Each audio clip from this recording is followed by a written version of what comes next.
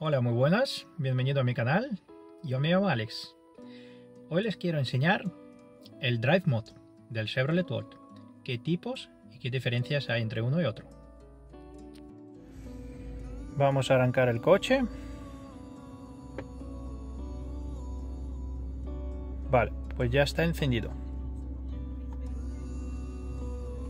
Aquí mirar que nos está diciendo que está ready, que está preparado. Ahora, este botón de aquí, el Drive Mode, una vez que apretamos, nos aparece un menú de los mods del Drive Mode normal, Drive Mode Sport, Drive Mode montaña y Drive Mode retener. Yo lo que quiero enseñarles es el Drive Mode de retener como veis aquí, una vez que apretáis el Drive Mode eh, retener, se cambia automático la batería, se va para atrás y el depósito de gasolina sale para adelante. Ahora mismo lo que yo tengo es para medio depósito de unos 270 kilómetros, de 178. Y lo que hace este Drive Mode de, de retener es eh, cuando nosotros vamos despacito y consumimos poco, funciona el sistema de batería. Consume batería, pero cuando aceleramos bruscamente o cuando necesitamos un poquito más de potencia, automático, eh, aquí se verá eh, cuando nosotros vamos a conducir se va cambiando el, sistema de consumo de, la batería y se encenderá aquí el motor del generador y también cogerá eh, energía, mm, gasolina digamos, para eh, que el generador funcione y produzca electricidad para el motor directo eléctrico, ya que este coche conduce con el motor eléctrico 100%. Entonces, eh, el generador es simplemente para el depósito de gasolina es simplemente para, para que produzca electricidad al todo el vehículo para moverlo con el motor eléctrico. Entonces este sistema del Drive Mode retener es mixto. Lo que hace es que cuando necesita consumir batería, cuando pueda, lo consume. Cuando, ve que necesita más potencia, lo consume algo de, gasolina para producir más electricidad para el motor.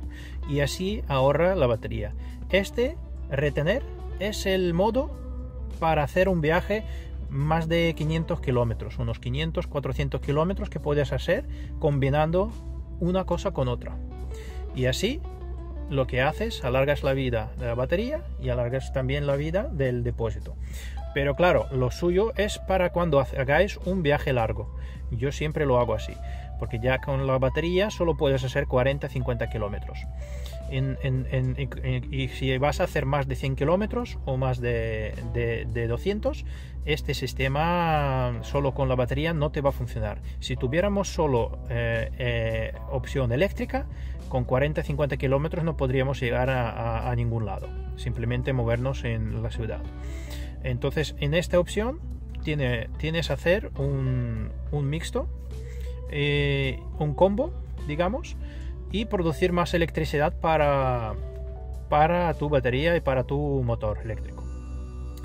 Esta opción de aquí, la siguiente, cuando cambiamos para el normal, automáticamente desaparece el depósito y se enciende la batería. El normal quiere decir que conduces normal, lo que viene de fábrica, lo que es el coche, es eléctrico. Vas a conducir 100% eléctrico, sin, ningún, sin consumir ninguna gota de gasolina.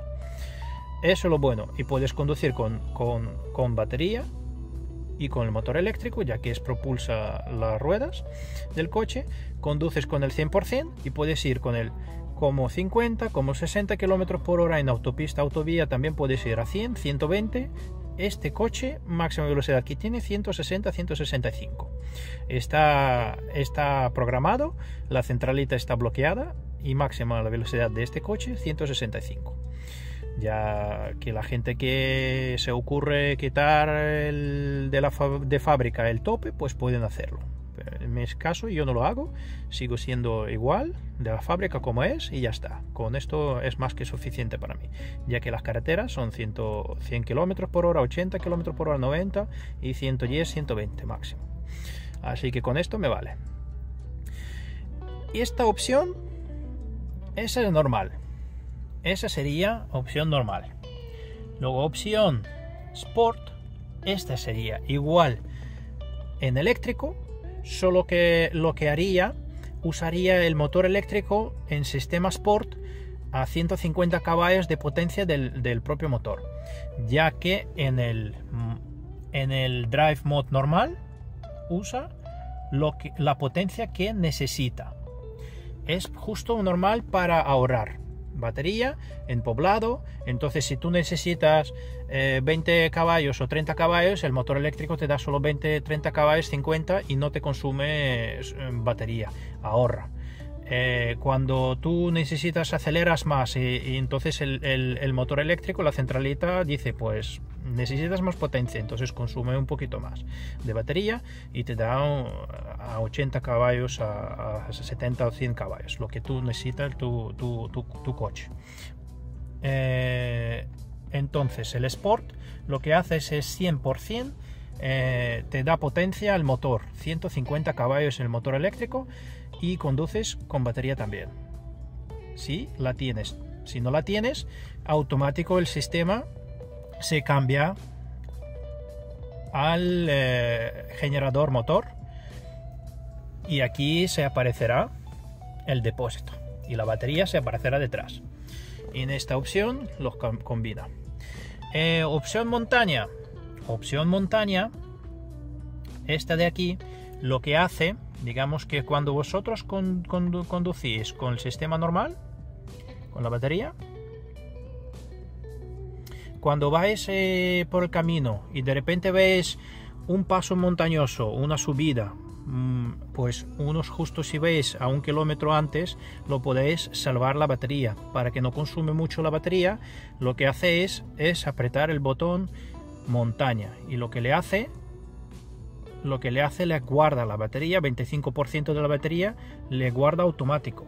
Como veis aquí, antes había 40, 40 kilómetros, 41, y apretar el montaña se me ha guardado mm, eh, más de 30-40% de mi batería, se ha guardado entonces lo que quiere decir que me va a consumir un poquito de gasolina para producir electricidad para que fuerce un poquito al, generador y el generador produzca un poquito más de energía para subir a la montaña. Y una vez que pasamos, automático se cambia, vuelve en su sitio. Y si no, vosotros también podéis cambiar aquí en opción normal. Una vez que apretáis normal, se cambia al normal y vuelve sus 40 kilómetros que tenías antes. Esta es opción de montaña. Y lo que a mí me interesaría enseñaros es eh, opción de, de retener. ¿Cómo funciona? Para que veáis. Hacemos un viaje. Este va a ser el siguiente vídeo. Así que no te lo pierdas. Hasta el próximo vídeo.